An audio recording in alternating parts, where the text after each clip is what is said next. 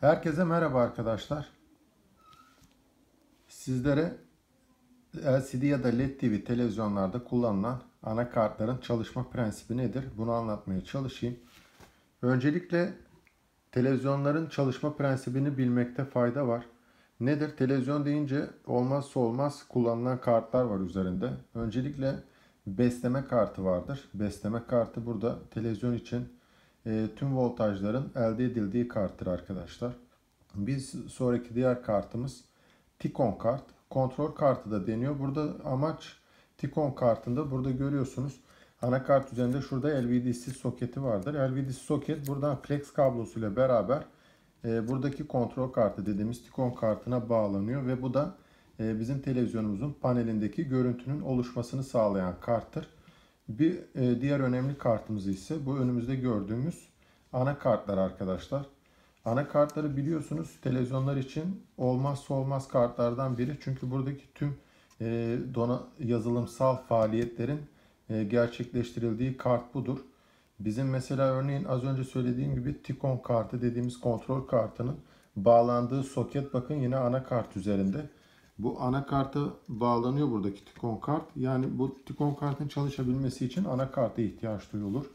Şimdi e, anakartları öncelikle e, çalışma prensibi şudur. Kullanılan tüm cihazlarda aslında aynı amaç için kullanılıyor anakartlar. E, şöyle ki e, buradaki e, cihazın e, çalışma mantığı neyse buradaki anakart tarafından sağlanıyor arkadaşlar.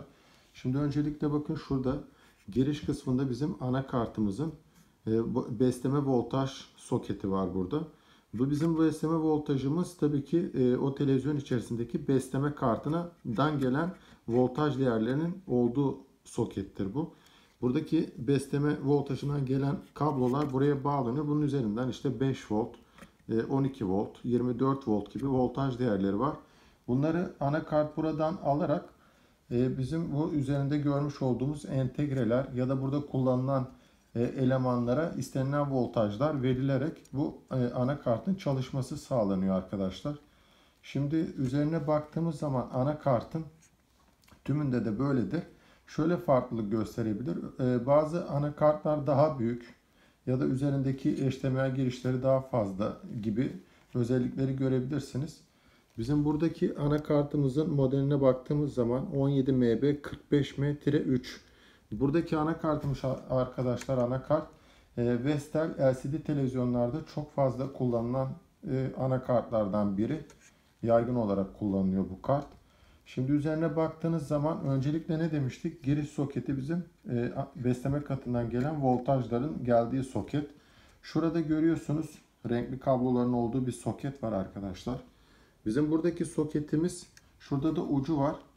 Bu soket bizim e, kumanda gözümüzün yani bizim kumandanın faaliyetlerin yorumlandığı e, sokete buradan e, biliyorsunuz televizyonun ön kısmında bir kartı IR e, kumanda kartına bağlı bu. Buradan geliyor anakartın giriş kısmına.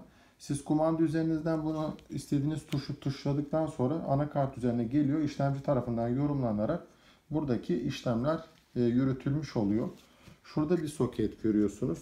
Buradaki soketimizde arkadaşlar e, yine e, televizyonların kenarında ya da altında ya da önünde neredeyse kanal değişimi için, ses değişimi, televizyonu kapatıp açmak için kumanda tuşları vardır ya da kontrol tuşları vardır diyelim.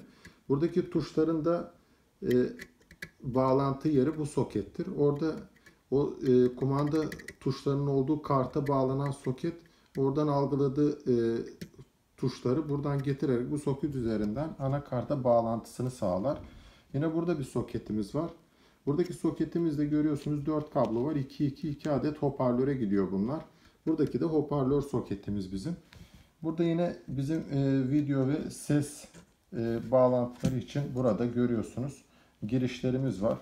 Şurada bağlanmayan bir yer var arkadaşlar. Bunun üzerinde USB girişi yok ama Buradan istiyorsak bir tane USB girişi bunun üzerine bağlanır. Buradan da ses entegre e, buradaki USB kontrol entegresiyle de buradan bağlanarak bunun üzerinden aktif olarak kullanılabilir.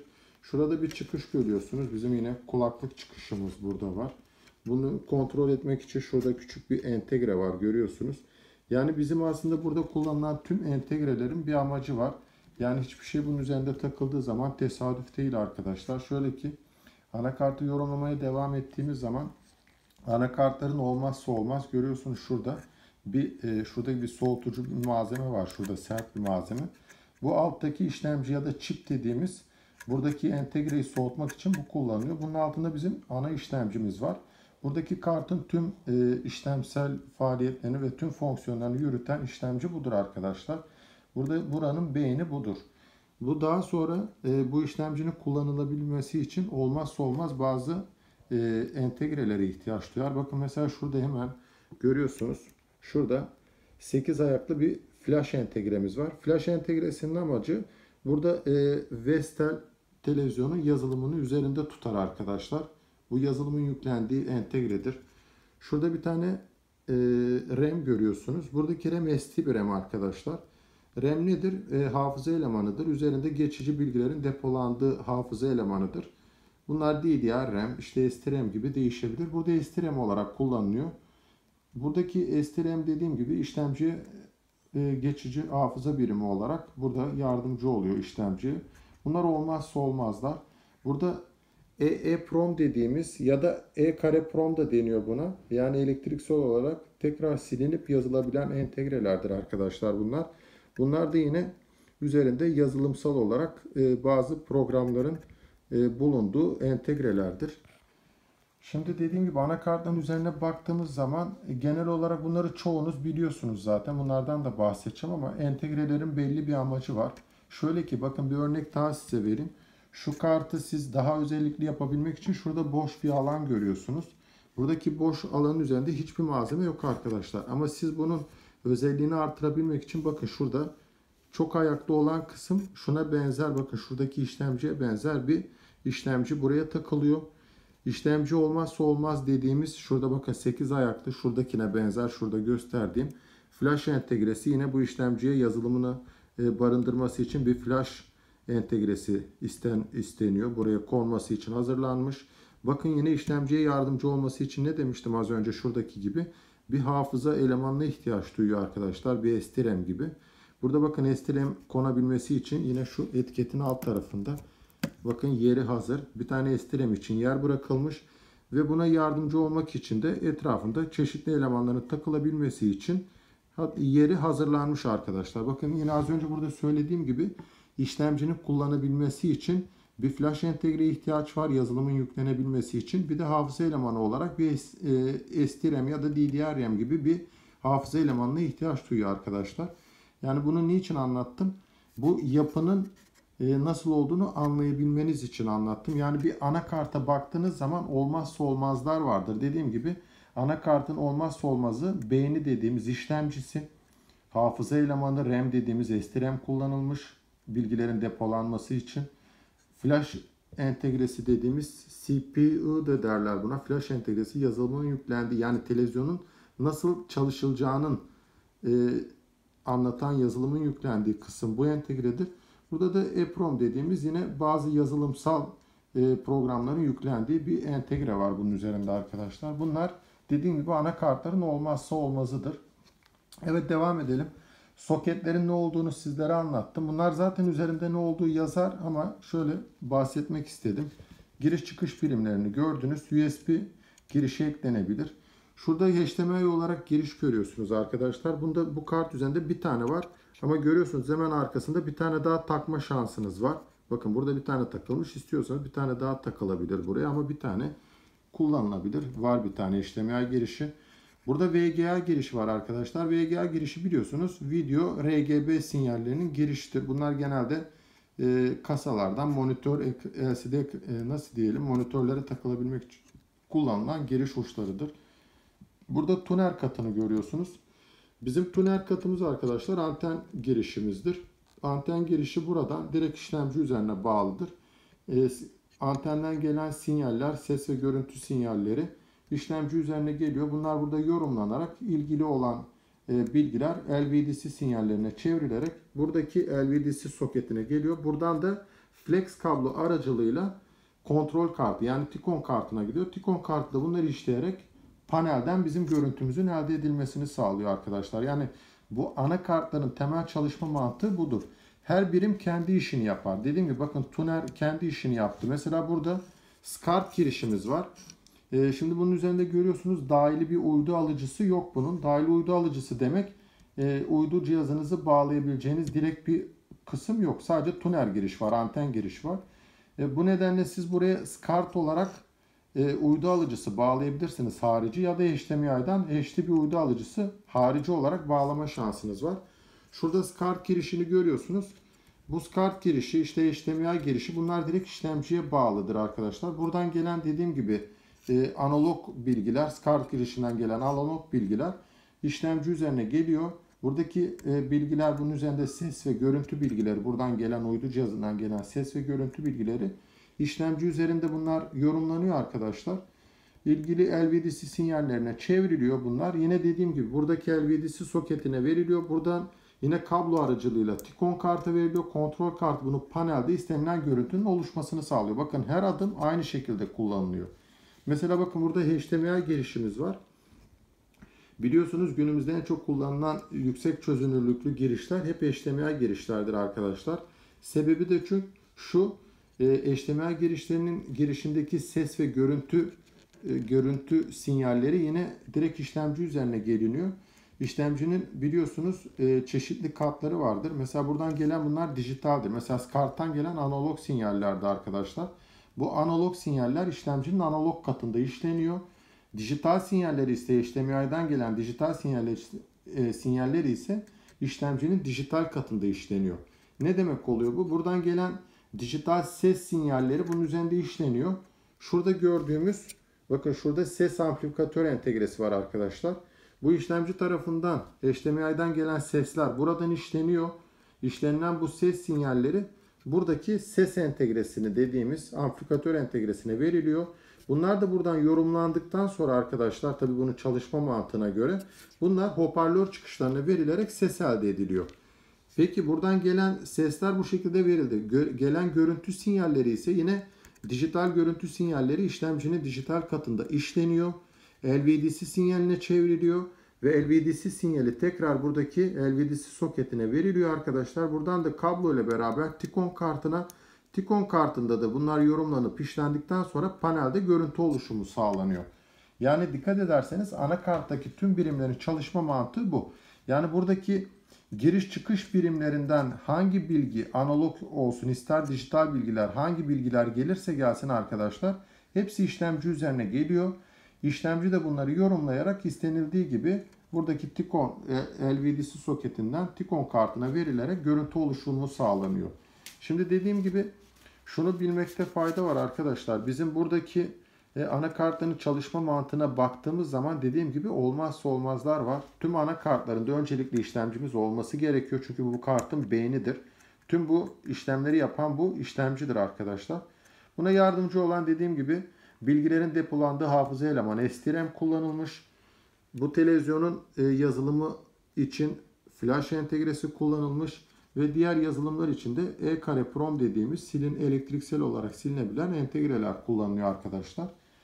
Ve dediğim gibi bunlar olmazsa olmaz. Hatta şuradaki mantıkta da anlattım size. Bakın bunlar yani işlemci siz buraya taktığınız zaman muhakkak flash entegresini e, RAM hafıza elemanını muhakkak bunun yanına takmanız gerekiyor. Yoksa bu kat bu şekilde çalışmaz. Yani bunlar bir bütün oluşturuyor arkadaşlar. Bunu anlatmak için bu katın burada olması da aslında e, bir nebze iyi oldu sizlere anlatabilmem için. E, arıza bulurken ya da bazı e, çözümleme yaparken ne gibi adımlar uygulamamız gerekiyor? Bunlardan da bahsedelim.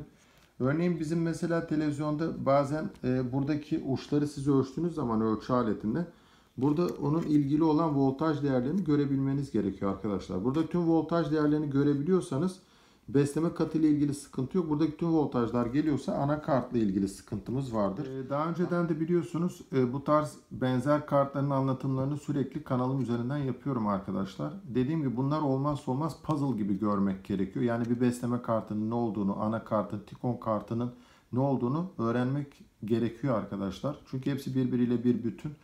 Bunları yine kanalın içerisinde bulabilirsiniz. Anlatımları mevcut. Ve daha sonra e, devam edelim. Mesela bu anakart üzerinde arızaları nasıl tespit edebiliriz? Bununla da ilgili sorular geliyor e, tarafıma. Şimdi bununla ilgili şunu bilmek gerekiyor. Örneğin bakın mesela şurada bir tuner katımız var bizim. Nedir? Antenden gelen e, sinyallerin toplandığı ve işlemciye iletildiği bir devre var burada. Şimdi, Şimdi tuner katına baktığımız zaman buradaki tuner devresine arkadaşlar 2, 4, 6, 8, 10, 12 tane ayağı mevcut. Şimdi biz e, ana kartlar ya da normal besleme kartları ya da tüm kartlar üzerinde e, ölçüm yaparken şunu bilmekte fayda var. Yani bununla ilgili gelen sorularda şöyle cevap vereyim.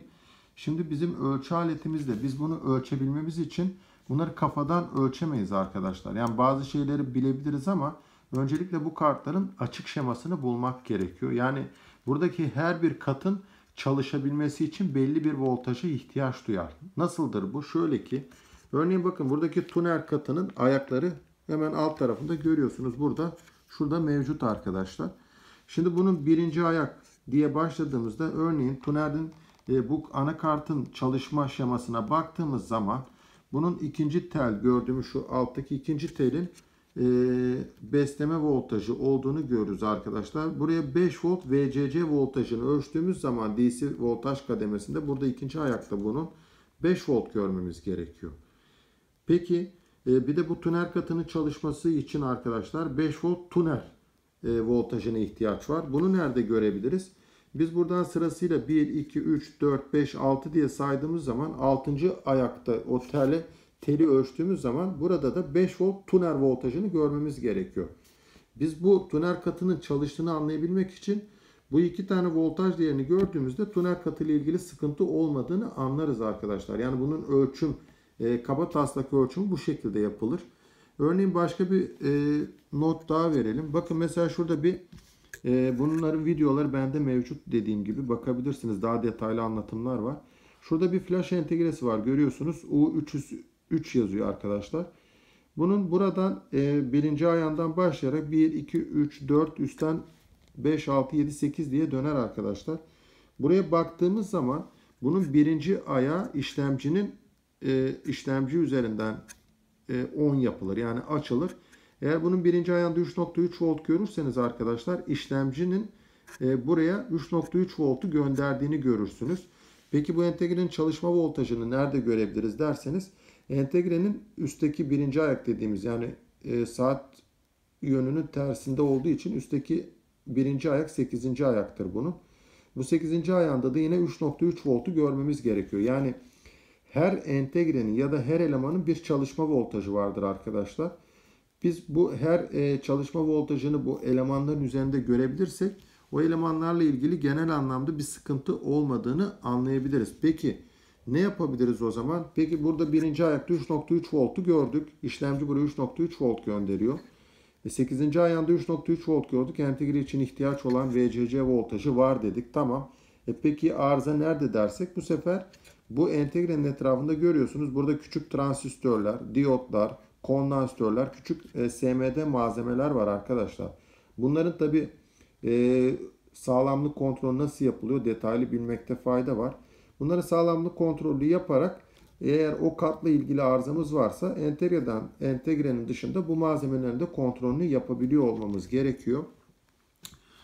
Ee, dediğim gibi öncelikle bakın mesela yine burada bir ne demiştik az önce hafıza elemanımız var. Burada bir STRM'imiz var.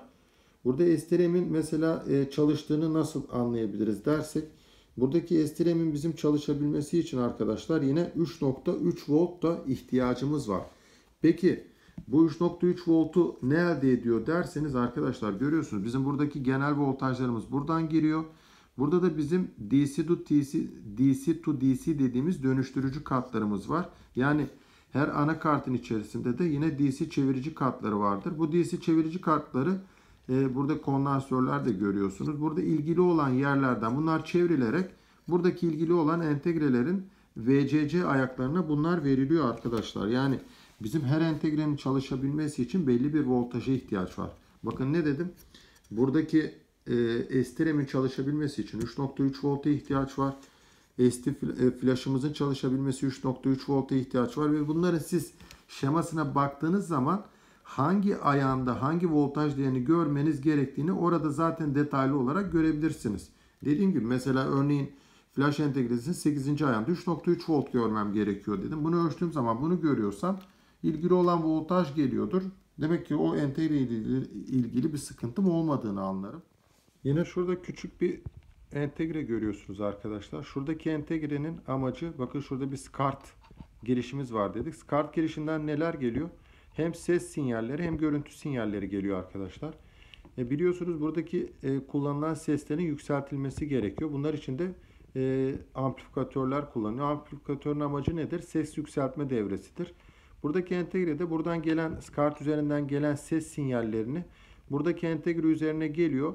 Bu entegre üzerindeki amplifikatörün amacı burada bu genel ses sinyallerini yükselterek arkadaşlar e, kullanılmasını sağlamak için bu entegreler kullanılıyor. Yani burada kullanılan her bir entegrenin bir amacı var. Hiçbiri tesadüf değil. Bakın şurada küçük bir entegre görüyorsunuz şu arka kısımda. Şurada görüyorsunuz. Peki buradaki entegrenin amacı da şu arkadaşlar. TDA 13086 diye bir entegre kullanıyor burada. Bunlar genelde e, amplifikatör entegreleridir söylediğim gibi. Amacı yükseltmektir arkadaşlar bunlar. Şurada bir kulaklık görüyorsunuz. Bu kulaklık çıkışı buradan gelen ses sinyallerini buradaki amplif yani işlemci buradan gelen sesleri e, toparlayarak buradaki amplifikatöre veriyor arkadaşlar. Buradaki ses sinyalleri yükselterek kulaklığa veriyor. Bu çıkışta e, göndererek kulaklıktan sesin daha kaliteli ve yüksek çıkmasını sağlayan entegre de burada bu amaçla kullanılıyor. Dediğim gibi bakın buradaki entegre kulaklık için kullanılmış. Buradaki entegre amplifikatörü yükseltmek için SCART girişi için kullanılmış. Mesela bakın şurada da bir entegre yeri var ama boş arkadaşlar. İstiyorsanız yine dediğim gibi burada da kullanım amacına göre buraya entegre eklenerek bir amplifikatör entegresi. Bu da VGA için kullanılabilirmiş gibi. Yani bunlar her zaman düşünülüyor, uygulanabilir. Yani bunlar için yer de bırakılmış. Dediğim gibi e, amplifikatör entegrelerin amacı gelen ses sinyallerini yükseltmek için kullanılıyor arkadaşlar. En önemli entegre anakartlarda olmazsa olmaz arkadaşlar. Şurada gördüğüm gibi ses amplifikatör entegreleri var. Bunlar tüm anakartların içerisinde bulunuyor. Çünkü işlemciler e, gelen ses sinyallerini işleyerek ses amplifikatörüne veriyor. Bunlar da bunları e, işledikten sonra hoparlörlere verip ses çıkışı elde ediyorlar. Buradaki kullanım amacı bu arkadaşlar. Peki bu işlemci de bu sesleri e, ses amplifikatörüne verdikten sonra görüntüleri de LVD sinyaliyle dediğim gibi buradaki soket üzerinden panele gönderimini sağlıyor. Yani anakarta baktığımız zaman tüm anakartlarda hep aynı çalışma prensibini görürüz arkadaşlar. Yani şu ana kadar anlattığım tüm kartları e, kanalım üzerinden izlediğinizde göreceksiniz. Hep çalışma mantığı bu şekildedir. Yani sizin burada özellikle bilmeniz gerekli olan bir kart üzerine baktığınızda yani öncelikle şuraya baktığımda bunun bir tuner katı olduğunu, anten girişi, şunun kart girişi olduğunu, VGA girişi, HDMI girişi olduğunu bilmekte fayda var. İşte kulaklık girişi, video ve ses sinyal, e, kablolarının takıldığı giriş e, soket kısımları. Burada voltaj giriş kısımları soketi.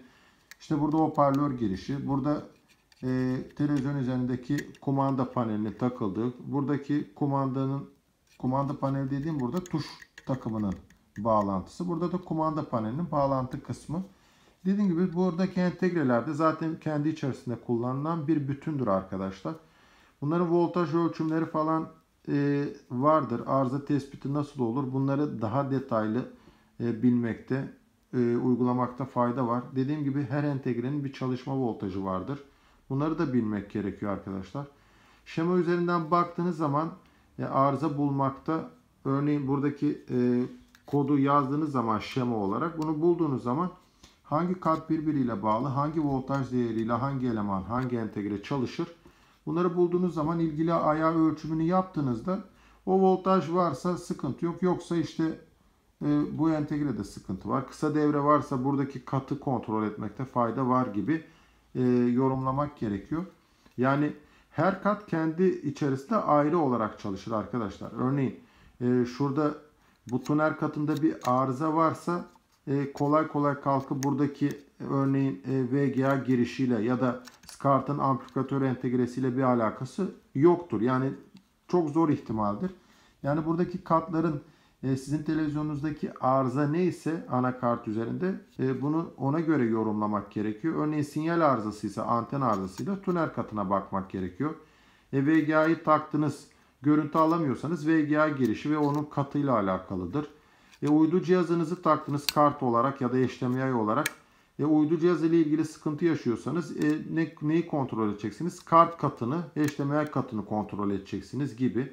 E, biz buradaki bazen arıza tespiti yaparken buradaki entegrelerin ısınıp ısınmadığını da kontrol etmek gerekiyor. Bazen işlemciler e, zamanla ömrünü bitirip e, bozulabiliyorlar. Bunları da görmekte fayda var. Buradaki bazen yine anakartlarda en çok karşılaşılan arızalardan biri şudur. E, örneğin televizyonunuz standby konumundan çıkmıyordur ya da açılıp kapanıyordur. Bunlar anakart arızalarıdır. Bazen de bu anakart arızaları buradaki flash entegresinden olur arkadaşlar. Bu flash entegreleri çoğunlukla e, bozulabiliyor ya da sıkıntı yaşandığı zaman televizyon açmayabiliyor. Buradaki flash entegresi güncellendiği zaman e, bununla da ilgili arızalar çözüme kavuşabilir. E, bunlar dediğim gibi yazılım yükleme kısmı da var arkadaşlar. Kanalım üzerinden merak ediyorsanız bakabilirsiniz. Evet anakart yorumlaması bu şekilde. Anakart öncelikle ne dedim? E, ses ve görüntü sinyallerini alıyor. Bunları işleyerek arkadaşlar e, kontrol paneline yani Tikon kartına ya da e, ses amplifikatör entegresine vererek hoparlörden seslerin oluşması için kullanılıyor. Anakartın amacı e, kullanılan cihaz içerisinde oranın beyin e, kısmını sağlayan karttır arkadaşlar. Anakartı olmazsa olmazdır o cihaz için.